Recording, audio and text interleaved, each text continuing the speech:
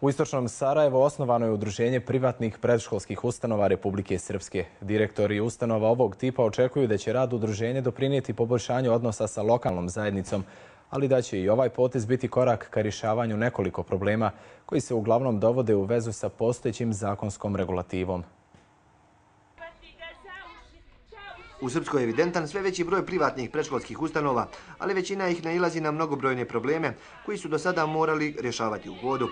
Međutim, najveći problem im je zakon o predškolskom obrazovanju koji im je svima zadavao mnogo muka.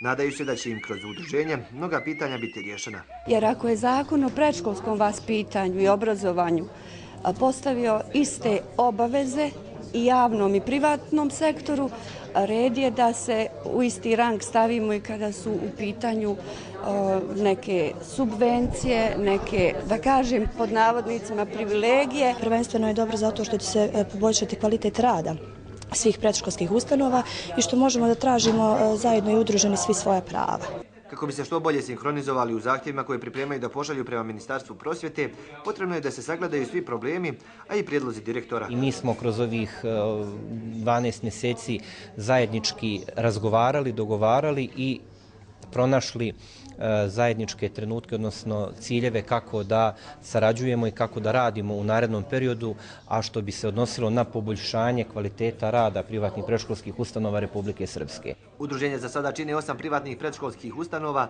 a poziv da se priključe je otvoren za sve ustanove ovog tipa širom Srpske.